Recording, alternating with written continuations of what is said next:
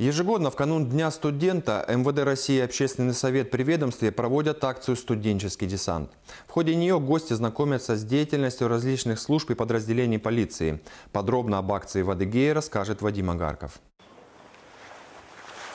За несколько дней студенты АГУ и МГТУ посетили ряд подразделений органов внутренних дел. Первыми открыли двери для студенческого десанта специалисты-кинологи. После экскурсии по центру полицейские продемонстрировали элементы общего курса дрессировки, поиска наркотиков и задержания преступников.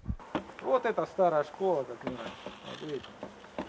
Ребята узнали много нового, не стеснялись фотографироваться с четвероногими помощниками полицейских и делились своими эмоциями. Нам, безусловно, понравилось то, как э, рассказывали об обучении собак, о том, как показывали на практике, о том, как собаки искали в портфелях. Обыск машины происходил, это было очень зрелищно. Следующим подразделением стал Центр временного содержания несовершеннолетних правонарушителей. Здесь гостям показали условия быта, места отдыха детей, спортивный зал и класс для занятий. Будущим юристам рассказали, как и за что подростки попадают в это подразделение ведомства. Мы дети, знающие, что такое любовь, когда мы росли в хороших семьях, благополучных, и видеть обратную сторону, как может быть по-другому в жизни, это очень страшно. Взаимодействие органов внутренних дел с добровольными народными дружинами стало темой обсуждения на встрече с представителями службы по организации охраны общественного порядка. Завершилась акция «Студенческий десант» информированием молодежи о деятельности пресс-службы республиканского МВД. Гостям подробно рассказали о работе со СМИ, информагентствами, об освещении преступлений, происшествий и проведении имиджевых мероприятий. Студенты также узнали о порядке взаимодействия и деятельности общественного совета при ведомстве. Вадим Агарков, Беслан Хуаджуков, Анатолий Стрелец. Вести. Дежурная часть.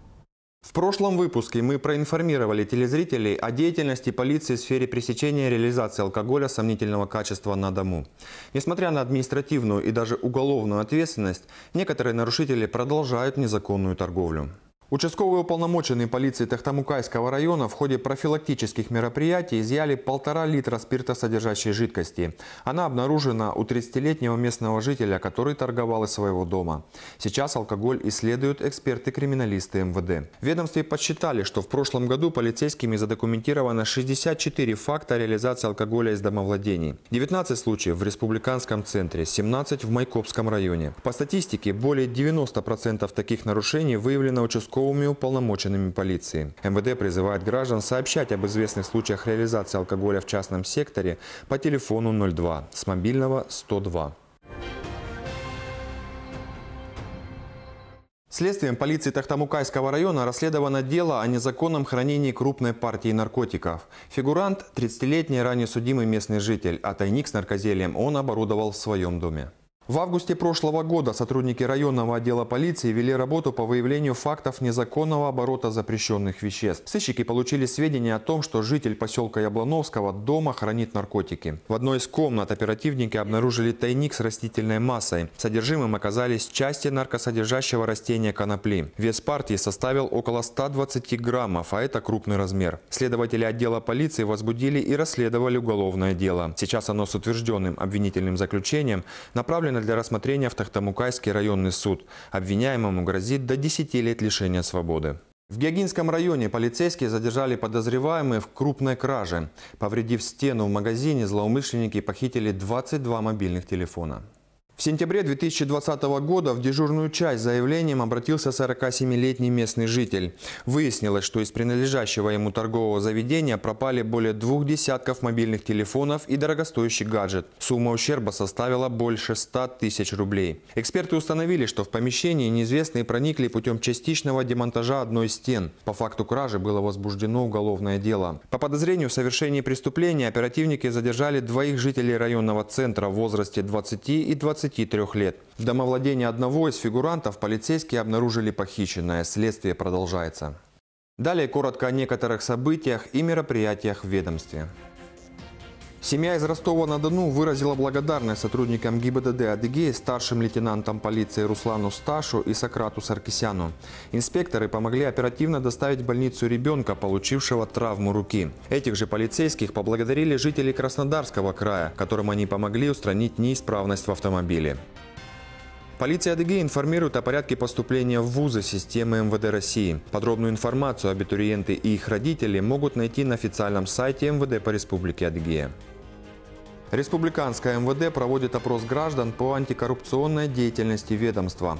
В подразделе противодействия коррупции и на главной странице официального сайта МВД по Республике Адыгея каждый посетитель имеет возможность оценить работу в данном направлении. Управление по вопросам миграции информирует о том, что внесены изменения в федеральный закон о правовом положении иностранных граждан в России, согласно которым квота на выдачу разрешений иностранцам и лицам без гражданства на временное проживание распределяется соответствующими комиссиями. С подробной информацией можно ознакомиться на сайте ведомства. В новом году госавтоинспекции продолжена работа по выявлению лиц, повторно управляющих автотранспортом в состоянии опьянения. Несмотря на серьезную ответственность, такие случаи нередко регистрируются в сводках МВД. На автодороге М4 Дон сотрудниками ДПС задержан 28-летний житель Краснодарского края. Мужчина управлял авто в состоянии опьянения, а в ходе разбирательства выяснилось, что ранее он привлекался к ответственности за подобное деяние. В отношении водителя принято процессуальное решение. По данным МВД, в 2020 году полиция Адыгея возбуждено 210 уголовных дел по статье 264 прим. 1 УК России, из которых 181 передано в суд. Из общего числа 65 дел возбуждено в Майкопе, 43 в Тахтамукайском районе. Напоминаем, что за данное деяние предусмотрено до двух лет лишения свободы.